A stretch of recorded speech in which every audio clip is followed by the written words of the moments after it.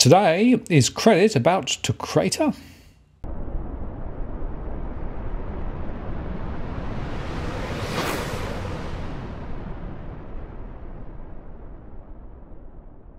Hello again, it's Martin North from Digital Finance Analytics, welcome to this post covering finance and prop news with a distinctively Australian flavour. Well, you may have noticed that we've hit the end of April, and as yet I haven't reviewed the latest statistics from the RBA and from APRA. And there's a simple reason for that. I've been too busy dealing with a whole bunch of requests from various media sources relating to the mortgage stress and the financial stress statistics. It's so relevant given the high inflation and concerns about interest rate rises. But nevertheless, I have put my stats fest together, and so today I want to take you through the latest statistics. And by way of a little bit of a precursor, let me just refer to this statistic, which was shown on Insider this morning. Relates, of course, to mortgage stress and also rental stress. And if you have been following my shows, you'll recognize this data. It's mine. So it was up in lights this morning. And here is the underlying data that shows that mortgage stress has moved up to more than 42% of households in financial difficulty. This is measured in cash flow terms, of course, money in, money out. And rental stress has now overtaken it over about 42% of renters are also struggling. So the costs of living issues are real and getting worse, something which I'm afraid is still hardly being addressed in the current discussions around the election. Now, okay, Labor did make a specific announcement today about 10,000 households per annum being assisted by a proposition where a section of your equity is provided essentially by the taxpayer. In other words, a shared equity scheme. Very interesting to encourage people to buy in right at the top of the market with very little equity of their own. This is crazy, crazy. And of course, all of these stimulus schemes from either side of politics will drive home prices higher. This is one of the big fallacies. None of these sorts of initiatives actually really help. It simply drives prices higher, so more people have to pay more. There is no strategic analysis of the underlying issues, unless, of course, you come and listen to DFA and indeed, next Tuesday, Steve Keen, Professor Steve Keen, who's standing for the TNL, and by the way, who has a very coherent policy on housing affordability and property prices, will be on my show. So, mark your diary and come and join us for that. Anyway, now back to the data, and we will start with the Reserve Bank data, the financial aggregates. Now, of course, this is up to the end of March, so it's a bit delayed, but nevertheless, it shows that overall housing credit in the last month rose 0.6%, personal credit fell slightly, and business credit grew 0.3% compared with 0.8% last month. And that takes us to an eye watering growth rate of 7.9% for housing credit over the last 12 months, comparing it with a fall of 3.3% for personal credit and business credit, a rise of 9.4%, giving a total lift in credit of 7.8%. Now, I want to highlight before I move on just a very important observation because they said of note this month, owner occupier and investor credit has been revised by more than usual owing to the resubmission of data and the re-estimation of a seasonal factors. This has affected growth in owner occupier and investment credit in RBA statistics table 1, that's the one we're using, and the levels of those credit stocks in RBA statistical table D2 Aggregate housing credit, which includes both owner occupier and investor credit, was not affected by these revisions.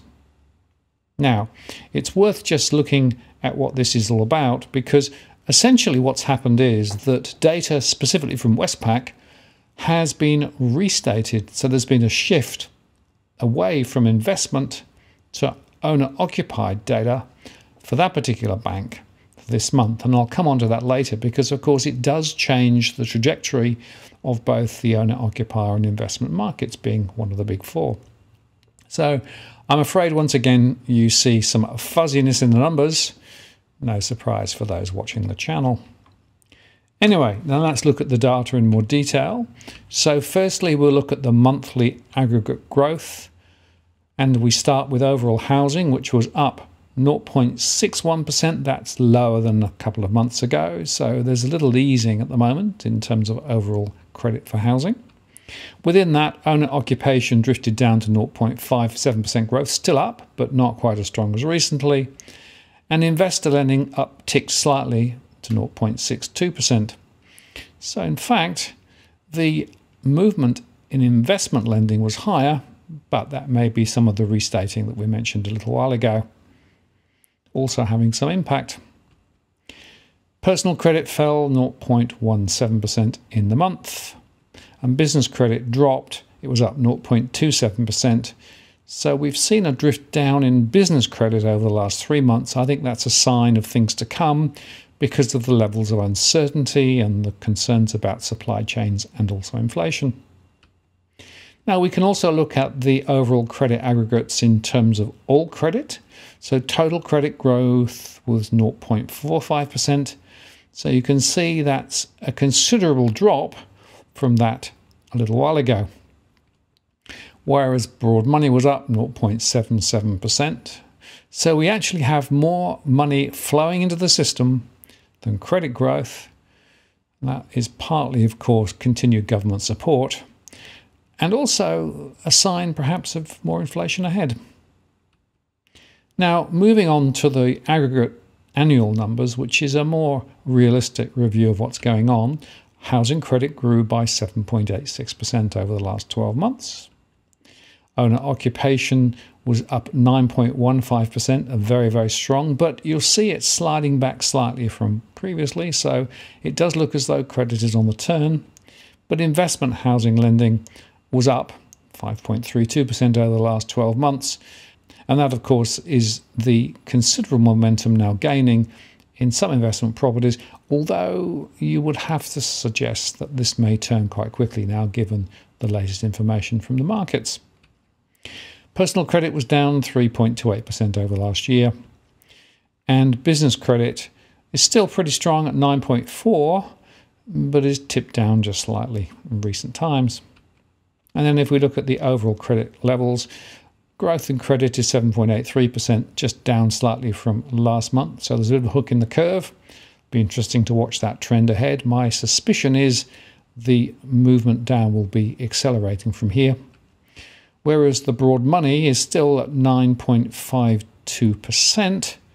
So, once again, we are seeing more money sloshing around and flowing to the economy, which will drive inflation higher. And just before I finish the review of the RBA data, we'll look at the three month credit trends because those trends are quite interesting. You can see there that housing is at 1.88, so it's down a little. Owner occupation is 1.97, down a little. And investment housing over three months is at 1.66%, so that's going sideways. So there is definitely the first signs potentially of a cratering in housing lending. Personal credits up and down a bit, down 0.64% over the last three months. Although ahead, my suspicion is that we will see more people reaching for credit cards and other forms of credit to help them get through the cost of living rises, which of course have been very strong. 5.1% annual inflation is a bit of a killer. And then business credit was at 1.66%, which is lower than the last few months. Now let's turn to the APRA data, which is the monthly authorised deposit taking institution statistics.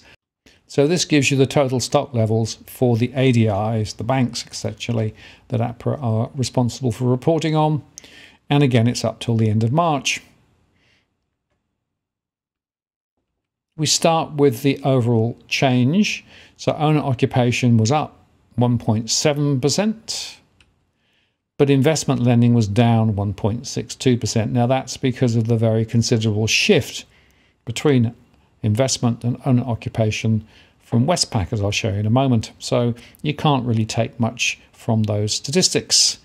The overall growth, though, was 0.58%. So again, we are starting to see a bit of a cratering in terms of new lending. Still strong, but not as strong as the last couple of months. Another way of looking at it is to say that the total stock outstanding is another record of $1.97 trillion. Very large numbers, of course. And within that, the growth in owner occupied loans continues to move faster than investment loans. And because of the Westpac adjustment, the percentage of investment loans outstanding across the ADR has dropped quite considerably. It's now at 33.14%. Now, this is where we get into the momentum created by the Westpac move. So you can see that there was a very strong uptick in owner occupied lending and an offsetting downtick in investment lending from Westpac. Put that aside, and Macquarie, Commonwealth, and NAB are all still growing their books, both investment and occupied lending, whereas the ANZ is still showing a fall in owner occupied lending compared with investment lending. So you can continue to see the different strategies that the banks are executing, but of course, it's all very much messed up by those big restatements from specifically Westpac this time around. There may be other smaller restatements which I can't necessarily track, but this one was a real standout. So, just to summarize, then, we are starting to see the first signs of a turn in the market. And as the prospect of higher interest rates and indeed the slowing of house price momentum really starts to take, and remember the consumer confidence is pretty low, my expectation is that we're going to see credit now coming off the recent peaks. And I would remind you that the rate of change of credit is the best determiner of what's going to happen to home prices. So it could well be that we see home prices beginning to move down. There was some data released today from the REA Group.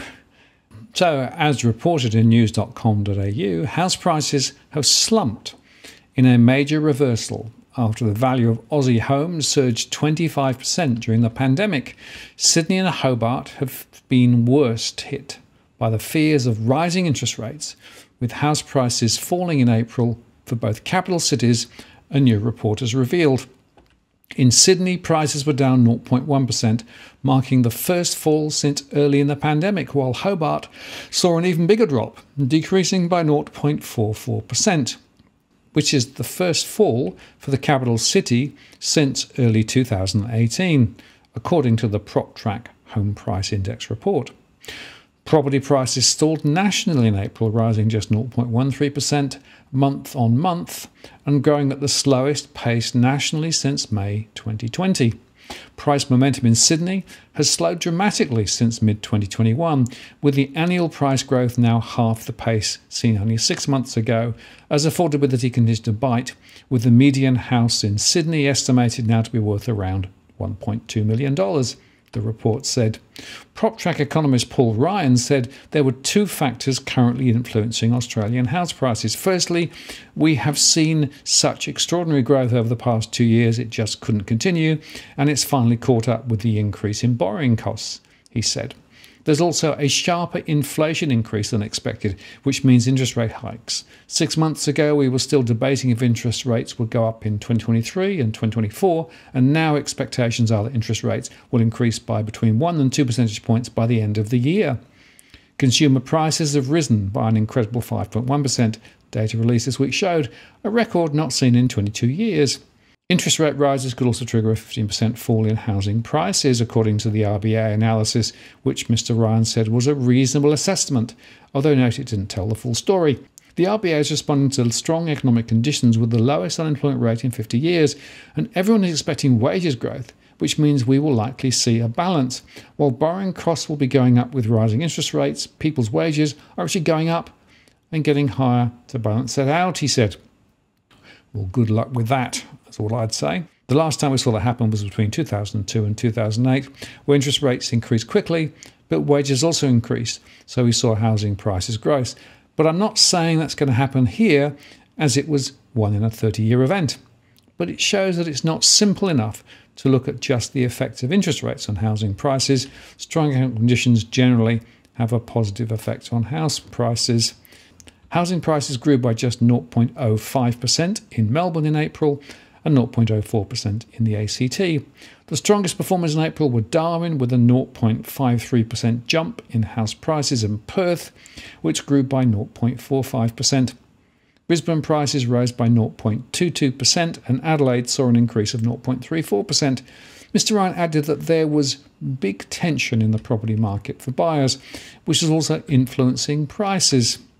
There is a lot of uncertainty among buyers about where borrowing costs will be, and they don't have the certainty of people who entered the market this time last year. He explained those people were fairly certain that interest rates wouldn't rise for a couple of years and they would have a few years to pay down the mortgage even if they stretched themselves a bit. Now, buyers wouldn't want to overload themselves as repayments are going to be substantially higher in as little as six months' time. Nationally, house prices were up 16.05% year on year, to reach a median value of 691,000, the report also found. On the ground, particularly in Sydney, we are seeing quite strong falls already.